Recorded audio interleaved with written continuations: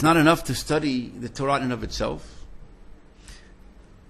What we call the, the, the necessity to learn what we call emunah. The study of emunah is what introduces you, meets you up with, how do you say, and, and uh, in, exposes you to the, the bigger world, to the two things maybe we mentioned last week. The Notena Torah, the giver of Torah. What are you studying? What is this Torah? We mentioned you can, he gives the example also of dealing with the details without being plugged into the electric socket. You don't understand that you're dealing with the, the light of God, of the, this, the Word of God that comes to this world. So you can do the mitzvot, you can have the Torah, but it's, um, like I said, you're dealing with the branches. That's what we mentioned last week, right? The, Ram, the Maharal explains what does it mean they didn't make the blessing of the Torah. They learned Torah, they said the words, but they didn't recognize the giver of the Torah. They didn't understand the significance of what this Torah is, the divinity of this Torah, this otherworldliness of goodness that comes to this world. And the second half, we mentioned the bracha, the Asher B'charbanam, that you've chosen us from all the nations, that you created a receptacle, that its essence is the, the desire to be, to live, to absorb, and to reveal, and to expose to all the world, all of our lives, to live all of our lives according to, to bring it to the whole world, to expose this illumination of this divine good. That's what learning Emunah is all about. Opens you up to the wider expanses of what's behind Torah. What is what does it mean? The giver of Torah, that these sun, these rays of light take the person out of the room and see, wow, the light is, it illuminates the whole world, not just my private room. I didn't realize. I thought light was good because look what it enables me to get around my house and room and without stumbling over uh, all the different things and tables and chairs. You go out of the room and you see, wow, this light is enormous. It, it, it gives heat and it gives life to myriads of creatures and beings in all of the world. That's what emunah does. Takes you out of the private and now see the grandeur of the divine, the Notena Torah, like the Maharal explains. And we said, Rav Yehuda, right? The Asher B'charbanu, the He that has chosen us from all the nations, that our essence is to, like I said, to want to live, to be, to understand, and to reveal that light in all of our lives and all of creation. That's who you really are. That's yourself. And that's what Emunah does. It elevates your whole um, aspirations, your motivations, your drives your whole life level. You're a different person. That's why the Rambam writes it in laws of tshuva to not just an individual sin, but tshuva and your whole existence to rise up. And the Rambam writes on line number 28, the end of 27, 28, that you have to teach the children, the people, to get to this level slowly but surely. Megalim lem, then you, re, you reveal to them. As their wisdom is advanced, you reveal to them this secret. Raz, what's the secret? But learning Torah, lo but there's another secret. God, this learning of emunah, this other dimension of Torah study that exposes you to the goals, to the divineness of what you're studying, what this is all about, the grandeur of it, and the grandeur of your, your soul that is built, so to speak, the two sides of the coin, the giver of the Torah and the, your neshama that is able to, that just desires to be that divine good, that wants that divine, that's the real you. And that changes your whole life level, your motivation. You can't do that all at once. You have to raise the person, the child, develop him in his studies, in order that his tarbeda ata, that his wisdom is expanded and his life level is raised, and you reveal to him this bigger secret. Ma'at ma'at, slowly but surely, slowly, slowly, he says. Get them used to this concept until they will recognize him. Line number 28. Until they will be um, raised to this higher level. How does he say it in English, the translation here? As their knowledge grows and their wisdom increases, the secret should be revealed to them slowly, bit by bit. They should become accustomed to this concept gradually until they grasp it and know it and begin serving God out of love. Then they become different people. This whole commandment is to bring us out of what caused the Khurban, the destruction of the temple. That because we did doers of religion, doers of the studies of Torah, but like dry, rote. Like it says in the Prophet, the um, mitzvot anashim lumada, out of rote, out of habit. They did the mitzvot. But the next level of tshuva and the time of, of the special period that we're in now, we'll talk about, hopefully, of rising up to a new life level that we're aware, that we're ready for because that's inside of, that's the real us. You belong to a bigger, higher, idyllic truth. And that's you. It's not something external to you. Try to command me to get to that top of the mountain that I can't climb. No, that's where you belong. That's the real you. The world that made you think that you're private, egoistic, and that's not the real you. That's why you won't even find your true self. You won't be satisfied until you reach that peak of of your true existence. So first of all, you have to know who you are. This commandment shows us, revolutionizes. You should know first of all who you really are, what you belong to.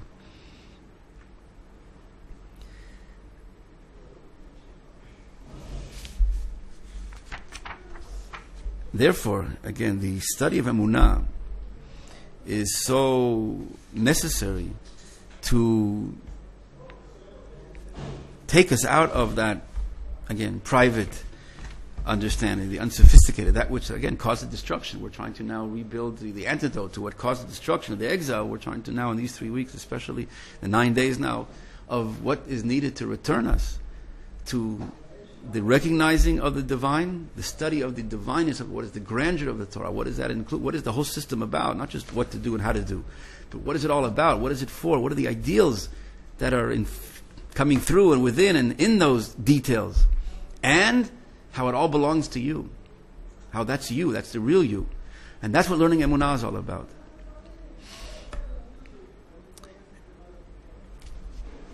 One last point of what Rav Blacher brings down towards the beginning of the book more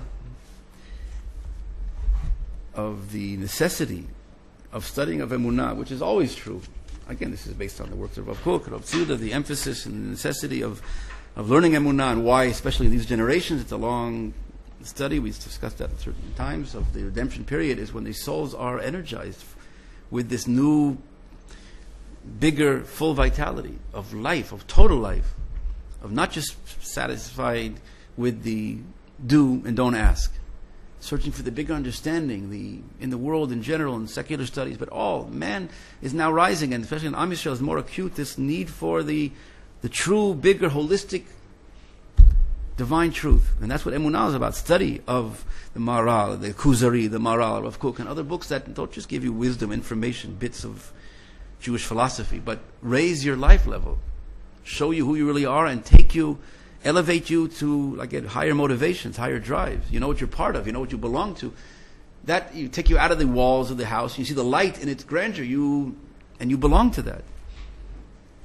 But this is unique and special, even more the special needs of studying uh, emunah in these generations of redemption.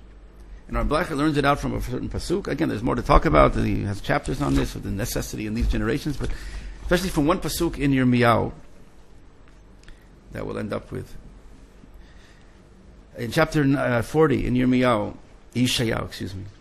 The other verse was from Yirmiyahu. This is from Yeshayahu chapter 40, verse 9. It's not on your sheets. Because you see the Rambam as you, if it's underlined there, you to read in the, pre, in the sheet, line number 30, 31, that you, one does not love God except for the knowledge which he knows him. Not just the do's and don'ts. I know how to do, but what are the, the knowledge of God, the awareness of the greatness, of get out and see the greatness of that light of the sun. What, how amazing, how wondrous, how grand, and how lofty. What you're dealing with is not some, you have to in order to get a reward, but it's the, the beauty of it. Lishma can only be approached. The serving God out of love can only come according to the knowledge that you know Him. And by emunah, what we call that study of the grandeur of the God, the ways of God, and His, the Ramchal, etc., the study of the greatness of the gods, the divine ideal, and the greatness of Torah, and the greatness of Am Yisrael that was created with that soul to be and to live and to express that goodness in this world. And according to the knowledge, thus will be the love. If it's a small knowledge of God, thus will be the small love of God. And the greater, harbe. And therefore you have to, laskil bechokhmat, how does he um, translate this? One can only love God as an outgrowth of the knowledge which which he knows him. The nature of one's love depends on the nature of one's knowledge. A small amount arouses a smaller love, etc. Therefore, it is necessary for a person to seclude himself in order to understand and conceive wisdom and concepts which make his Creator known to him. And that is what learning emunah. But now, the especially in this generation, that's always true. But in the generations of the redemption, so he brings down this verse in Yeshayahu 40. Al har gavoa alilach l'mevaseret Tzion harimi b'koach kolech mevaseret Yerushalayim hari al tirai imri l'arei Yehuda hine elokechem. It says, go up on the mountain. The prophet says, go up on the, this lofty high mountain. And you mevaseret Tzion, you announcer, uh, right outside Yerushalayim, mevaseret Tzion, you harbinger of Zion, raise up your voice with strength, b'koach b'kolech you again Mevaseret Yerushalayim. You there's Mevaseret Zion Yerushalayim. Harimi again. Raise up your voice. Al tiri. Don't be afraid. Imri Yehuda, say to the cities of Yehuda, Elokeichem, this here is your God. So what is this verse referring to? And over the rabbis explain, and this is the time when the divine is revealed. The divine truth is known, is seen. This is what we call the redemption. So then the question is, though, Rabbi asks, if so, if this is the redemption, why does it say, uh, if you point to it and say, here is your God, here is the divine truth, you see it, it's now clear. Why is there any point to rise, go up on the top of the mountain? Why do you have to go up to the mountain to see it? If it's clear to all, why do you have to get up on the top of the Empire State Building? Now, I don't know, the other buildings are gone now. Uh, whatever the uh, Sears Towers, you have to get up and say, wow, look and see it. What do you mean? Everyone sees it now. The redemption is when it's clear, when the truth is known, the knowledge of God fills the earth, like it says in Yeshayahu chapter 11. And why do you have to also, harimi bekoach raise your voice with strength? Why do you have to raise your voice? If it's clear in front of everyone, it's, uh, there's no need to raise your voice and everyone sees it. And even more, even more, what it says later. Al tirai, raise your voice, don't be afraid. What should I be afraid of at this point? The redemption is here. Here is your God. The truth is clear the redemption, the knowledge of God, the, awareness of goodness, of truth, of justice. Don't be afraid to say that. What do you mean afraid? If this is the redemption, is what is he, what should be afraid of? But rather, Rav Blacher explained that this is referring to the not the end of the process, but rather at the stages of redemption, when it's not all exposed, it's not all clear, it's not all revealed. And the the level is here. In other words, the hinei the the goal, the levels, the energies, the potential of of redemption of good people, of good souls is now here. People are now ready for it or thirsty for it, but it's not revealed yet. We talked about the redemption process, right? It comes in stages, kima kima, slowly, slowly, till it's res- till it's ultimately exposed and revealed. But it's not all visible at the beginning. The first stage is not so clear. So what does it mean to go up to the top of the mountain? It doesn't mean here to literally right go up to a mountain or the Empire State Building, but rather this overview. Right when you plan something, you do something, you get up. You have to get this over this holistic view, the view from above, this vantage point. Go up and get the vantage point of where we are, what's going on, what is the, the bigger perspective. Learning emunah, in other words, to see this bigger picture, not just the, the, the trees, you don't see the forest. Get up and now see the forest. See the bigger picture of where we're at. What is history? Where has God brought us to this point of history? That's what we connected to once. We saw that's the Torah of Eretz Yisrael. The Torah of Eretz Yisrael is this vantage point, like the white light. Before it's refracted, it's refracted the different colors, the piece by piece, the different trees. You see the whole white light, the bigger picture. Not to talk about that, but that is this. That's what learning Emunah is all about. Mentioned the, we mentioned Chazal, the Midrash Tehillim 105 that if you wish to see the Shekhinah, the divine presence in this world, learn Torah and Eretz Yisrael. That is the vantage point that enables you to see this bigger perspective. So go up to the top of the mountain. Get that view of Emunah that sees and knows. And then you have the ability to guide and direct, to show the way. Then you will have this view that now you can go into the details. that you go back to the bottom, you know, to the day to day level and, and guide and, and, and, and direct people. And that's why he says also, raise your voice with strength. Because it won't be so simple. Not only won't be simple to see, you have to learn and study, but it'll be, you'll be afraid to say it. Things that won't be so popular. What are you talking about? Redemption, holy souls. Look around you. Look at the newspapers. Look at the secular state. Look at all the negative things that are going on here. Giving back Yamit, Sinai, whatever. Don't you see what's going on? What are you talking about? Redemption. Holy, good souls prepared for that Right, we said the volcano, right next to the volcano. I don't hear anything, nothing, or the chicks, right, right before they hatch. It seems to be dead. There's nothing. There's no life going on here. What are you talking about? Life and new vitality and new energies.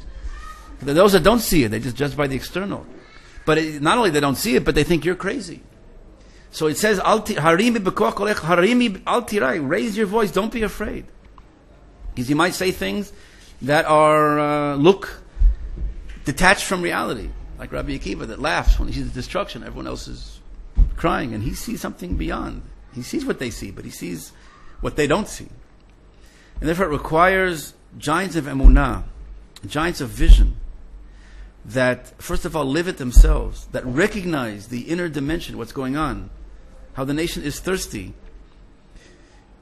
He writes here, um, page 124, that requires these people, Rav Tzuri used to call it, Gedudim Shel how do you say, divisions of Gedudeya, Gedudim Shel Ma'aminim, divisions of believers, of giants of spirit, that are not,